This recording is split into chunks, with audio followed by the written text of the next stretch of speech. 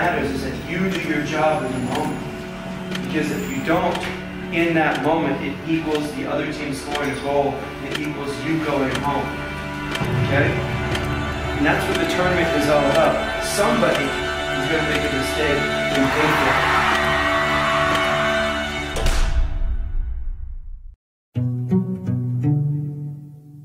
it. Whether or not you win this thing, you've got to decide how you're going to walk out of here when it's all said and done. Because the game is going to go on. And there's only one rule you're going to need to know about. There are no second chances. There's only this moment and the next moment. Every one of those moments is a test that you get to take one time and only one time. You see an opening, tear into it. If you get a shot at victory, make damn sure you take it. Seize that moment.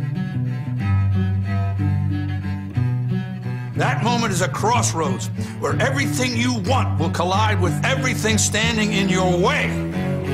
You've got momentum at your back. Fear and doubt are thundering like a freight train straight at you. And all you got, the only difference between making history and being history, the only thing, the only thing you can count on in any given moment is you. It's you versus them. You versus no. You versus can't.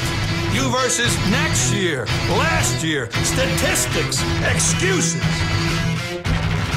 It's you versus history. Versus the odds. It's you versus second place. Clock is ticking. Let's see what you've got.